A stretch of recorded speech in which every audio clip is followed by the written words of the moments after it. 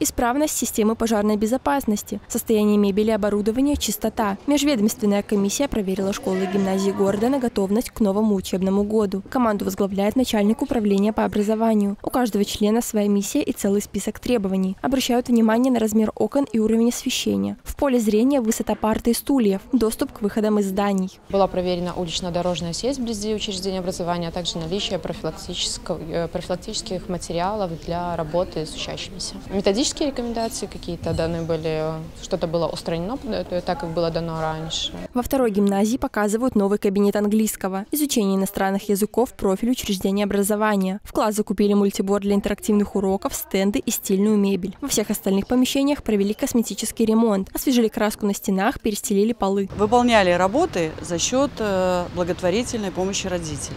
В этом году мы поменяли всю канализацию, а, сантехническое оборудование. А, фойе второго этажа сделали новые потолки. А, обновили э, окна и жалюзи. В 27-й школе переделали класс химии, уже привезли мультиборд. Остальное оборудование, парты, стулья и полки прибудут в ближайшее время. Спортивный зал не узнать. За пару месяцев недостатки ремонта успели устранить во всех кабинетах, рассказывает директор. И добавляет, в предстоящем году останется военно-патриотическая направленность после 9 класса. Мы планируем набор в первые классы. В этом году мы будем открывать 4 первых класса.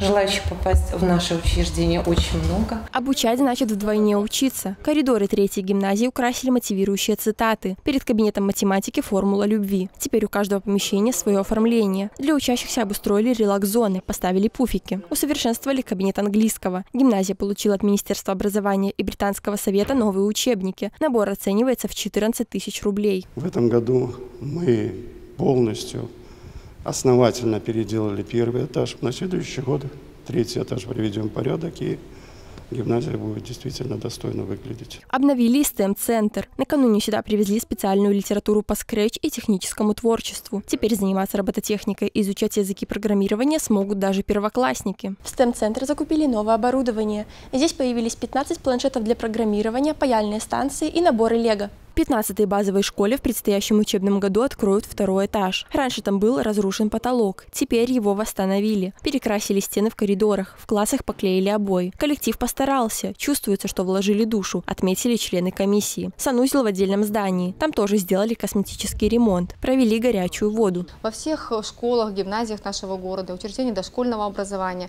проведен э, косметический ремонт учебных кабинетов.